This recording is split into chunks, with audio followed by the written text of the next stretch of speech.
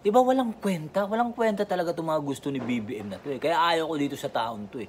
Guys, kay Aling Lenny tayo. Kasi ang purpose po ni Aling Lenny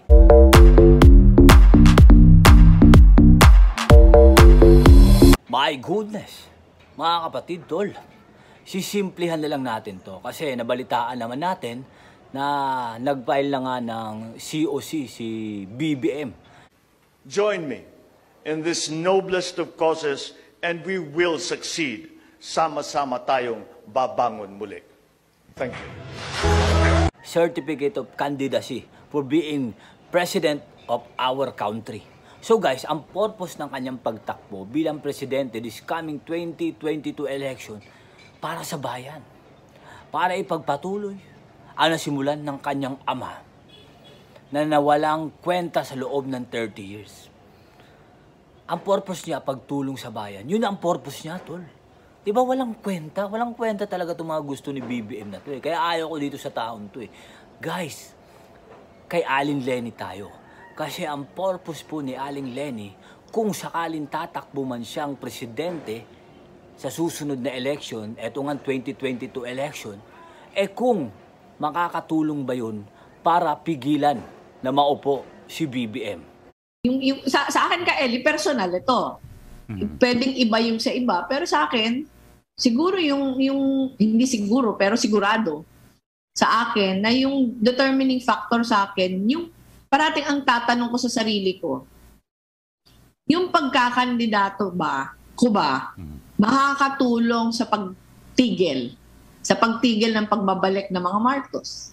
O yung pagkandidato ko ba makakatulong sa sa pagharang na patuloy pa din itong klaseng paggugobyerno na to? Yan, yan yung parating tanong ka, Eli. Kasi kung kung lalong nakasama, bakit pa ako magkakandidato? Di ba? Napakaganda. So tatakbo siya na presidente balang araw next year para mapigilan lang itong si Marcos na makaupo sa ating bansa. So, napakaganda. Di ba? Napakagandang adhikain ni Aling Lenny, mga kapatid. A- ang lupit eh. Ang lupit eh. Di ba? Napakaganda ng adhikain niya. Ang ganda ng plano siya. Tatakbo siya sakali na presidente sa ating bansa para mapigilan ang pag-upo ng isang BBM sa ating bansa. Pero etong si BBM, tatakbo para sa bayan, para sa tao. Napakawalang kwenta talaga. Doon pa lang makikita mo na na masyadong plastic ito si BBM eh. Gusto ko to si ano eh, Aling Lenny, may puso eh. Tatakbo bilang presidente ng ating bansa para mapigilan ang pag-upo ni BBM. So yun ang goal niya. Kung sakali tatakbo man siya, makakatulong na yung pagtakbo niya para mapigilan si BBM. Napakagandang goal, di ba? Di ba? Eh bakit ka tatakbo para sa mga tao? Nasaan ang sabaw? Di ba? Bakit ka tatakbo para sa mga tao? Tumakbo kang presidente para hindi maluklok si BBM sa pwesto. Napakaganda. Napaka-solid talaga, kapatid.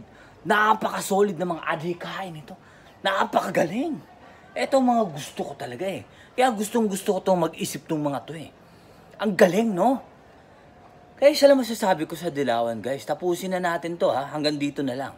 Tapusin na natin to. Isa lang masasabi ko sa mga Dilawan. Napakaganda nyo mag-isip. Tsaka hindi ko alam kung saan pa kayo humuhugot ng kapal na mukha sa panahon ngayon. My goodness! Sorry, sorry, sorry. Sorry, Dilawan to. I love you, Dilawan.